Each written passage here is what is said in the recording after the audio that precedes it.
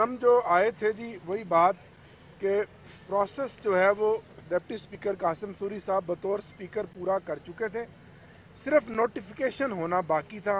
हम आए हैं आज स्पीकर के पास कि उन 127 में से 11 को आपने पिक एंड चूज़ किया अपने सियासी मकासद के लिए।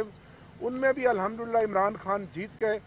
अवाम का जो सेंस है वो ये है कि आज मुल्क बचाओ और इलेक्शन कराओ नोटिफिकेशन करें। ताकि इस मुल्क में एक आज़ाद, साफ़, शफाफ इलेक्शन हो। इस मुल्क में सियासी इसकाम के साथ ही मुआशी इसकाम आएगा। नौ महीने में यह हुकूमत बुरी तरह नाकाम हुई है। इनके मफादात आपके या मेरे साथ नहीं है। इस मुल्क की आवाम के साथ नहीं है। इनके मफादात बिरून मुल्क हैं। ये सिर्फ़ अपनी 1100 अरब की चोरी बचाने आई थी। एन आर ओ टू ले लिया। इस मुल्क का दिवालिया कर दिया। मीशत का आज पहिया जाम है। और आलमोस्ट मुल्क टेक्निकल डिफ़ॉल्ट कर चुका है। अगले दो हफ़्ते बहुत अहम है।